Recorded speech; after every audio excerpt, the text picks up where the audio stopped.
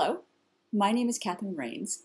I'm a mixed media collage artist, and welcome to Tune In Tuesday, where I share weekly art demos to expand your mixed media toolbox. This week I'm going to show you how to use water gel beads to make abstract collage papers. Never heard of water gel beads? Well, neither did I until I just stumbled on them which of course led me down a long rabbit hole of experimenting with tons of ways of doing this, and that's what I'm going to share with you. All of the links for the supplies I'm going to be using are down below in the description. And if you haven't subscribed to my channel, I'd be honored if you would.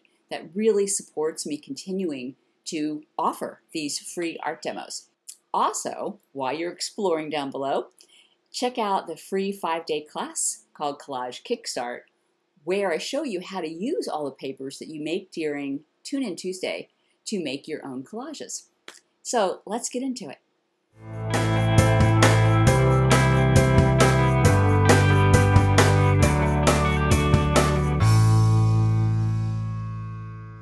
All right, so where we're headed is to make these abstract papers. And these are simply made with these water gel beads that look like this.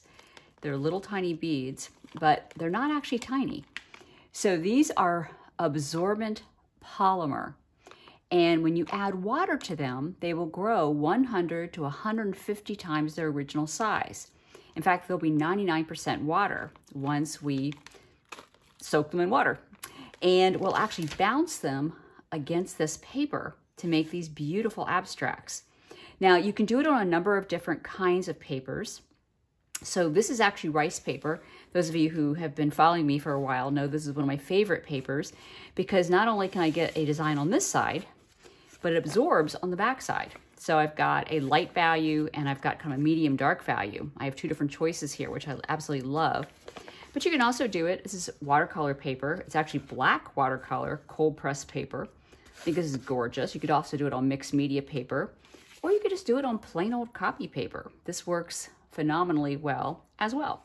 So there's a lot of choices here in terms of just using what you already have. Now the first step is to make these little plastic balls grow. And I've actually placed mine in some tins. I actually cover these, um, I actually have them covered when I'm not using them because they are water soluble, if there's any humidity in the air, they actually do stick together. As you can see, these are actually already sticking because I wasn't all that careful and left them uncovered. So then what you want to do is take some cups and put a small amount of the beads in each one. So if you can see, I'm just barely pinching. There's not that many in here. Do the same thing. This is very small these are also very small, but they're a tiny bit bigger. These large ones are going to grow many times the size that you see here, so I'm not going to put that many in here, maybe eight. And then I'm going to cover these with water. So for the small ones, I'm going to add just about a half of this cup filled with water. And for the large ones, I'm going to fill the entire cup up. And these will take varying amounts of time to actually grow. So the small ones will take about three hours to get their full size. The large ones can take maybe even 10 hours, and it depends on each one of these that was a tiny bit different size. So the larger the ball, the longer it takes to uh, make it grow to its full size. And here's the end result. You can see we've got really sweet little squishy balls here. Because they're water soluble, they tend to stay kind of moist. Um, these are the, the medium ones. Oops, missing ball there. So you know, they're quite a bit bigger than their original size, and these are huge. Now, I did take a couple of these out of there because they were actually overflowing um, over, the, over the cup.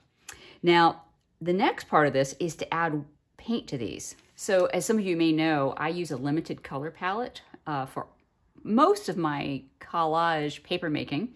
Um, I do a, a red, yellow, and a blue. I always stick with the same ones. Um, this is Phthalo Blue Green Shade. This is Hansa Yellow Light. My red is Quin Magenta, but for this particular project, I'm not putting the red into it. Um, this particular paint is a Nova paint, which I absolutely adore because it has a really nice consistency. It's a cross between a fluid acrylic and a heavy body, so you get a really nice pouring consistency. So what I'm gonna do is add a little paint to each one of these. And again, there's already water in here, so it'll make it a little bit of like a, a watery consistency over the balls. So I want different colors for each one of these. So I'm gonna add some blue here. And because there's water on here, it's just gonna mix in with it. So I'll have a dark color. And I'm actually gonna add some blue here too. And I want this to be a little teal. So I'll have this one blue, we'll make this one a little teal. And this one, I'm also gonna add just a touch of blue and I'm gonna add some white to it because I'd like to have a baby blue color. I'm gonna take a spoon and I'm literally going to stir them just to cover the balls with the paint. So that's a nice dark blue. This one, get it all mixed up. Yeah, I've got a nice teal there. In fact, I probably could put a little more yellow, but I like that color. In fact, yeah, I think that's good. And there is, is a lot of paint on here. So this is gonna add to this color, but I still am getting a nice light blue with this. So this is basically my palette. This is what I'm to use to bounce off the papers. When I was experimenting with this project, I also mixed up some green balls.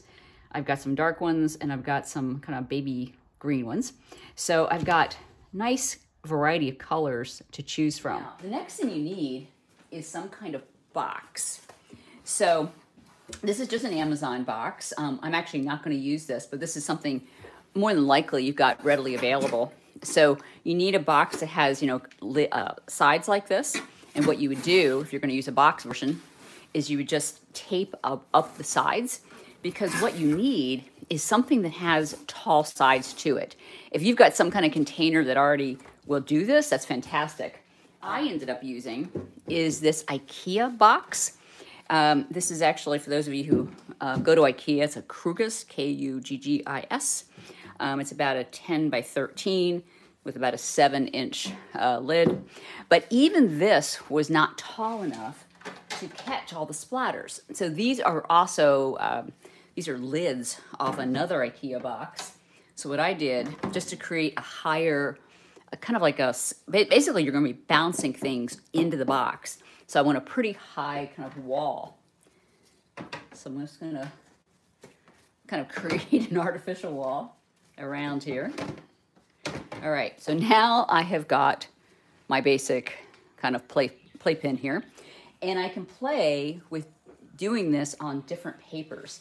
Now, probably my favorite paper ever is this rice paper. I'm gonna start with these. These are kind of like a teal. I'm gonna take a spoon. I'm just gonna make sure I got paint all over them. Now this is very technical. so you literally drop them. And I'm gonna, so right there, I've got an unusual paper that it's hard to recreate that. And I also have some, so right, I would actually just leave it there. So now there are some, these little beads are sitting all over the place. I'm just gonna drag, pull this up. And all by itself, I think that's really a very cool little abstract piece, particularly if I'm using it in a collage. You know, I'll just use a little corner of that. And on the back, I've got a design too. This is copy paper, but actually before I do that, um, I could leave all of these um, beads in here, but they're going to pile up really fast. So I'm just gonna, as quickly as you can, pull these up with a spoon. Um, you actually can't get them up with your hand very well because they're completely squishy. By taking these up in between rounds, um, I can have more room to put my paper down. So I'm just gonna lay this down. I'm gonna kind of lay it underneath my little artificial walls there. So I got my green ones here. To be honest, this is more green than I like. So I think what I'm gonna do is add more yellow to here because I really prefer a uh, kind of a, that's still really green. I'm gonna add some white just for kicks. It's better, still a little on the green side. It's just I have, I have so much liquid in there, so it takes a lot of yellow in order to get it.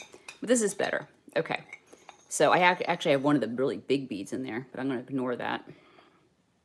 Now, there's a couple ways to do this. I could actually bounce it across, you know, against the, the wall itself, which actually produces one result. Yeah, I like that. by the way, I could just like splat it right off of my spoon. So let me get those.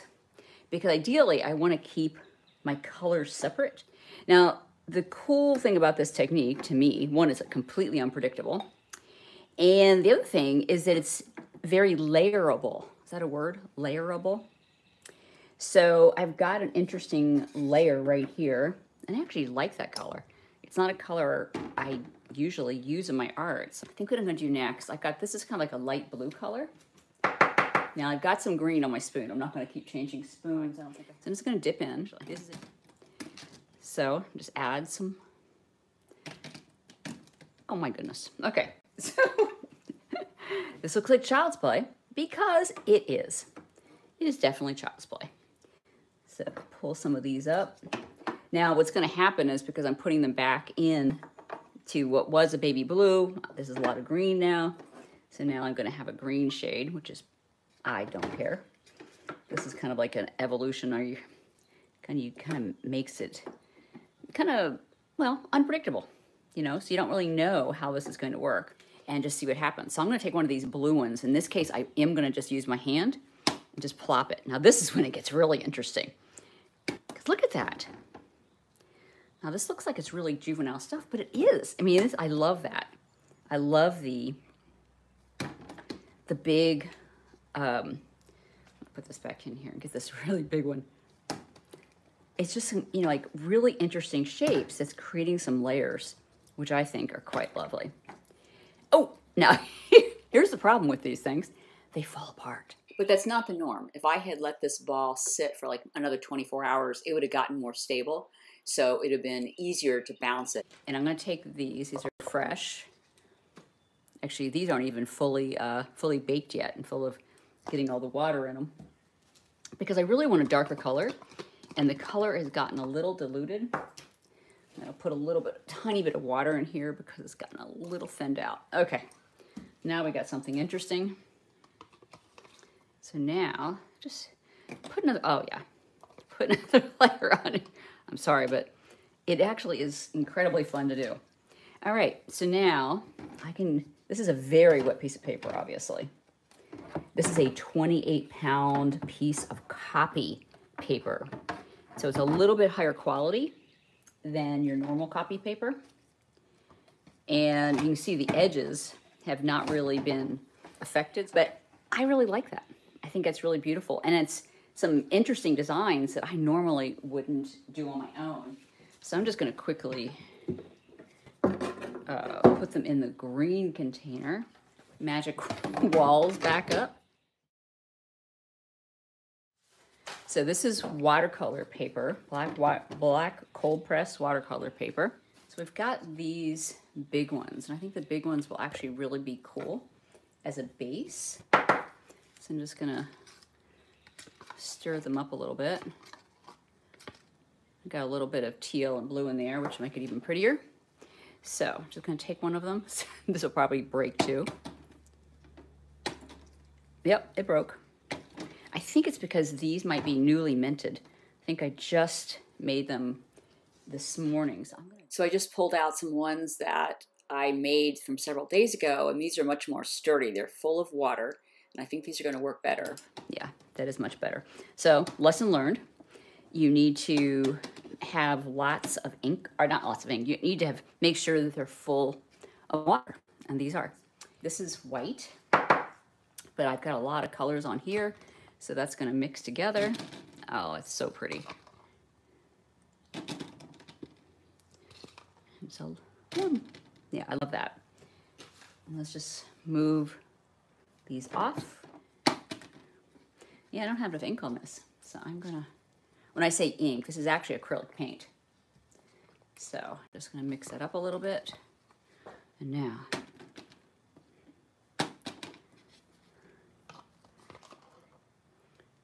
oh yeah, I don't know, something about that. That's done. We are gonna leave it alone because it is so water saturated that I want all those drips to be exactly as they are. So we're gonna leave that. Yes, I've got, I have this paper.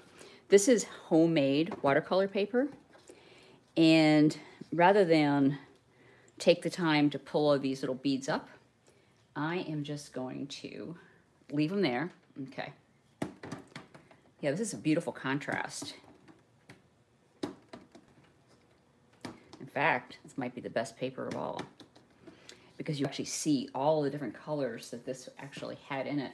Now I've got this one, which has got a lot of green, but I'm gonna add some more white to it because I really don't want it to be quite so green. Now it's more white. So I'm just gonna, oh yes. So just for the record, this is incredibly fun to do. Okay, so I've got this dark blue, but I think what I'm gonna do, the little mad scientist, I'm gonna add that to it. So I've got a different color blue now. Drain off some of the water. Yeah.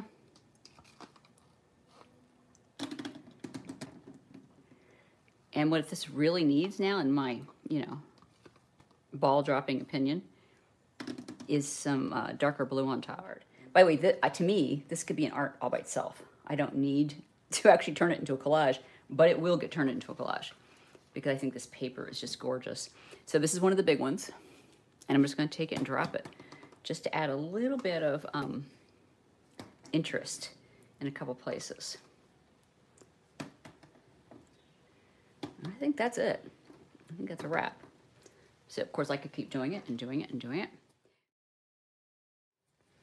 I just, I really love that. I just think that is a really interesting abstract paper that I. Okay, my papers are all dry and I've got such a variety from using that very limited palette with just different kinds of papers.